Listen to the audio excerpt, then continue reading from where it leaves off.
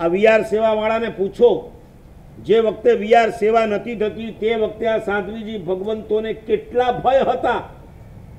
કેટલી હારાકીરીઓ સર્જાતી હતી.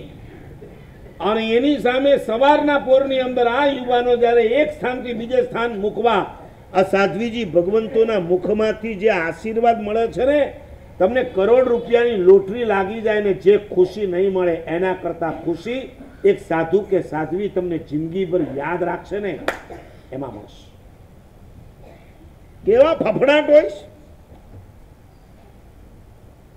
સાવ સ્કૂલની અંદર, ગામ બહાર સ્કૂલની અંદર ઉતારો આપ્યો હોય એ સાધ્વીજી ભગવાનને રાત્રિના સમયમાં કોઈ બેવડો, કોઈ આવારો માણસ આવીને સ્કૂલના ઓટલા પર બેસી જાય, સુઈ શકે ખરા આખી રાત જાગતા હોય પારેવાની જેમ ફફડતા હોય. મને મળ્યા હતા એક સાધ્વીજી મહારાજનું ગ્રુપ નવ દસ ઠાણા. ઉપાશ્રય ક્યાંય મળ્યો નહીં વિહારની અંદર.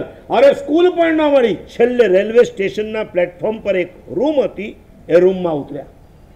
અને તને, તમને ખબર છે જે સરકાર માલિકી હોય, એની સ્થિતિ શું હોય?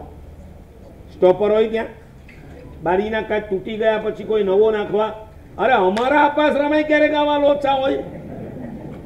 આ તો આ વખતે વળી કનુભાઈ વેળાસર જાગી ગયા ને બધું ટકાટક કરી નાખ્યું કોઈ ઠેકાણા નહીં. સાધ્વીજી મહારાજ તો પેલું એ જ ચેક કરે કે ભાઈ બંધ થાય છે કે નથી થતું? ચોપર બંધ ન થાય. બારીના કાચ તૂટેલા. અને રેલવે સ્ટેશન રાતના બાર વાગે કોણ ફટકે ત્યાં? મને કે કે અમે બધા જ આખી રાત જાગ્યા છે. સુવાય આખી રાત.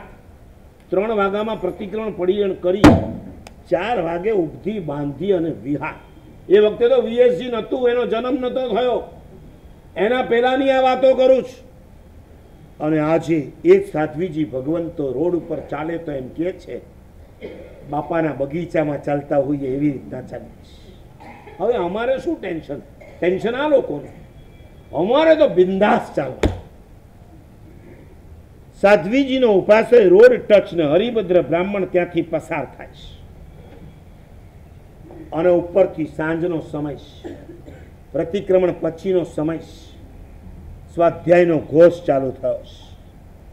ચક્કી દુગમ ચક્કી દુગમ હરિપણગમ, પણગમ ચક્કીને કેસવો ચક્કી. હરિભદ્ર ઊભા રહી ગયા. સંસ્કૃત અને પ્રાકૃત ચાલે છે ને? એટલે એમને રસ પડ્યો. એ કોને? ये क्या चक्की चक्की चक्की चक्की कर रहे हैं? સમજમાં નહીં આ રહ્યા બેચારાને સમજાણું નહીં પોતાનું ઋગ્વેદ, સામવેદ, યજુર્વેદ, અથર્વવેદ, બધા ઉપનિષદ, બધી ગીતા, બધી સંહિતા, બધી સ્મૃતિઓ ઉથલાવી મારી. લેકિન કઈ પર ચક્કી ચક્કી ચક્કી ચક્કી નહીં આયા. અને એને થયું ખલાસ. એક સાધ્વીએ મારું ગરુર તોડી નાખ્યું છે. કોણ હે યહાં પર જૈન સાધ્વી અને દાદરા ચડ્યા છે. દાદરા ચડીને દરવાજા પાસે ઉભા રહ્યા છે માતે મેં આઈ કમ ઇન સર મેં અંદર આ सकता હું અને સૌથી મધ્યમાં વયોવૃદ્ધ સાધ્વીજી હતા યાકીની એમણે કીધું ભાગ્યશાળી સંધ્યા વીતી ગઈ છે અંધકાર થઈ ગયો છે રાત્રિના સમયમાં સાધ્વીની વસ્તીમાં પુરુષે एंट्री ना मारा है इसका दूसरा मतलब क्या हो गया રાત્રિના સમયમાં સાધુની વસ્તીમાં સ્ત્રીએ પણ પ્રવેશ ના